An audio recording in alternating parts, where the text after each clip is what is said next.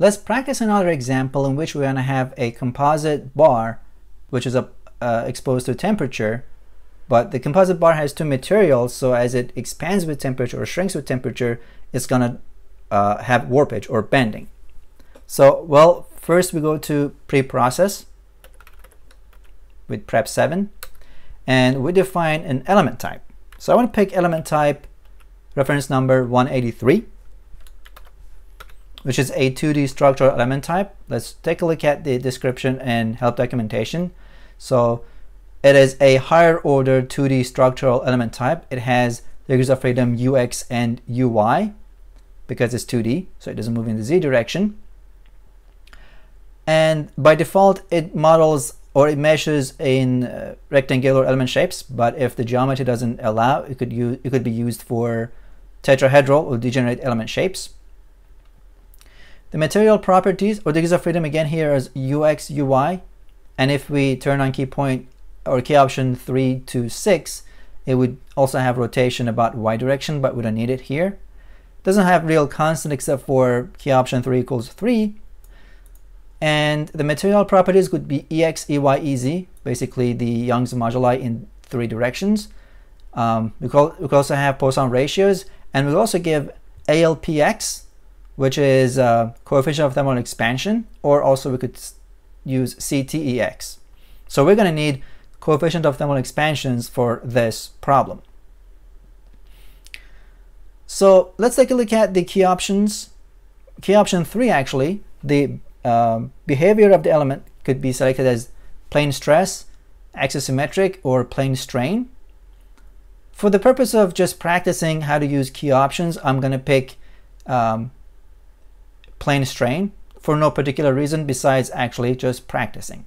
So after selecting that, I can say key option and the reference number for the element is 1. I picked element type 1. Key option 3 and the value is 2. If I take a look at that in here, in pre-processing element type and key option 3, as you can see, is plane strain, which is not the default plane stress. So I can do that. Now I have to define two material models because I have two materials with two different CTEs. The first material model, MP, EX, Young's modulus, 1, I give um, 2E11. And for that material model, I give EX 1 point 27 for now. Or actually, sorry, that was wrong. So I have to redo it. Say MP PR XY 1 and give it 0.27. This is the Poisson ratio.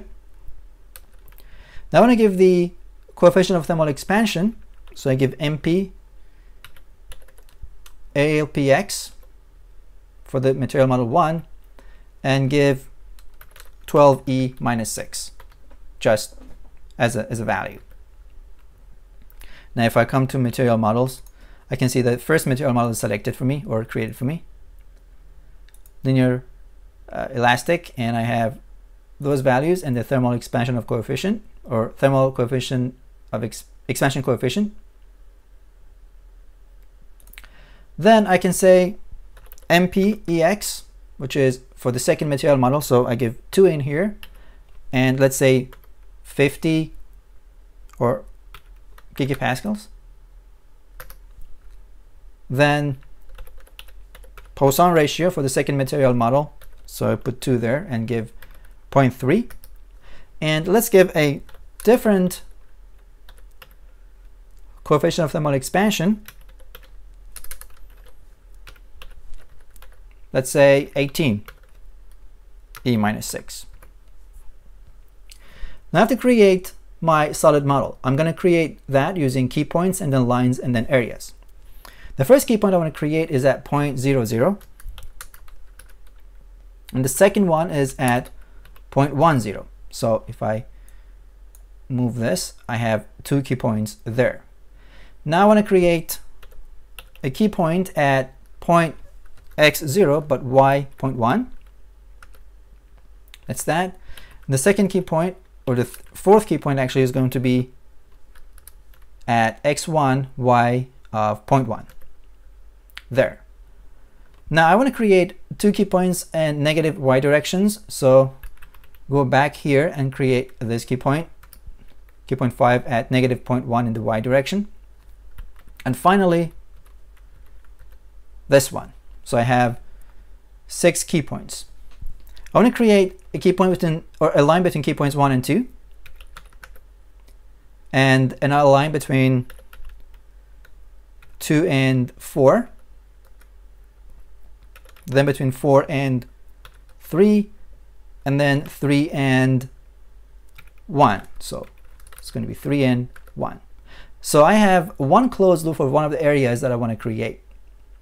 Then I have to create lines, actually three more lines for the second area. So I say line between 2 and 6, line between 6 and 5, and then line between 5 and 1.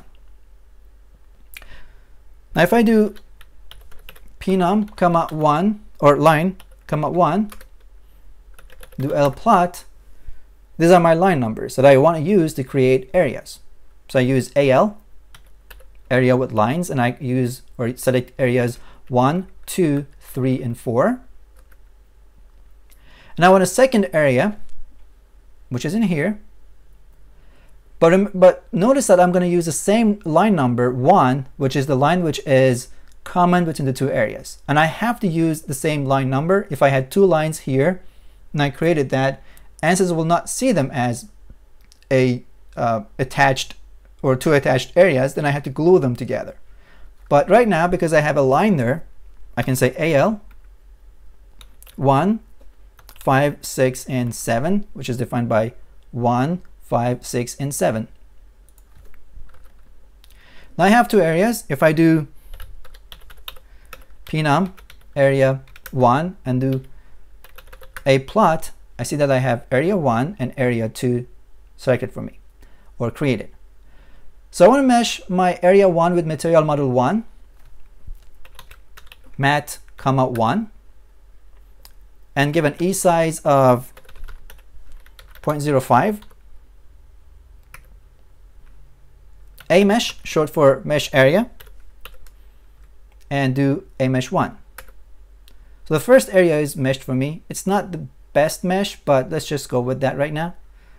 And then I can say mat, comma, 2. Now a mesh, to the second area. Now if I come to plot controls, numbering, and disable these, and say element shapes or element numbering with material numbers and just with the colors, I see that I have two types of materials or two different materials in this example, material model 1 and material model 2. Now what I want to do is to fix all these nodes. So I can say nsel s location x 0 and plot to just show the plots nodes that are there and say d all all degrees of freedom to zero.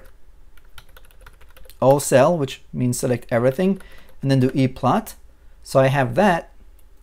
Now I want to come here into solution, basically finish this and go to solution with dash or backslash solu.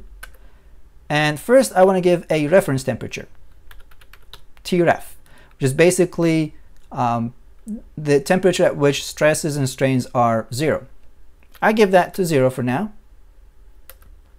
And then I apply a constant temperature to all the nodes. So I say BF, body force, all, all the nodes, temperature, which is TMP, and let's give a 80 degree or 100 degree for now to make it radical.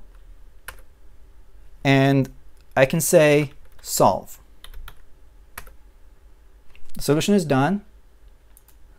I can go to post processing backslash post one and do pln sol short for plot nodal solution show me the displacement and vector sum As you can see, because of the temperature, because of the difference in coefficient of thermal expansion or CTE of the two models, as, as a result of the temperature being applied to this composite plate, the plate bent in the y direction. But because I didn't have adequate number of elements in this model, it, it's not shown as best as I expected.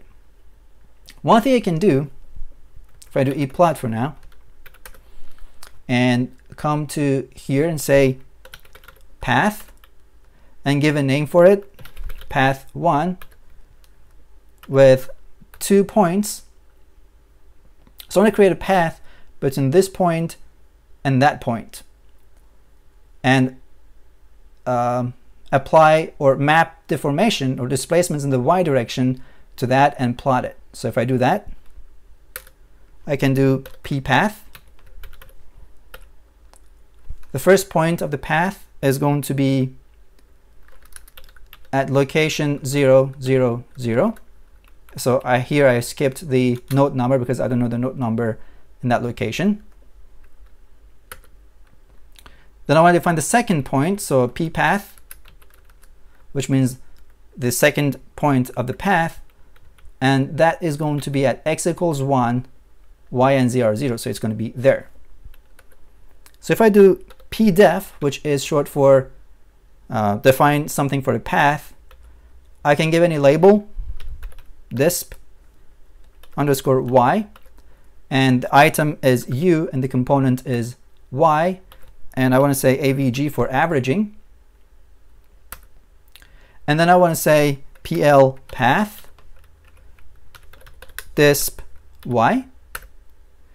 This is the deformation of the path um, or of that uh, line with respect to the length of the composite plate. So here we uh, tried an example, a very simple example of a plate with composite materials or two different materials with different coefficient of thermal expansion and applied temperature and saw its deformation with respect to temperature.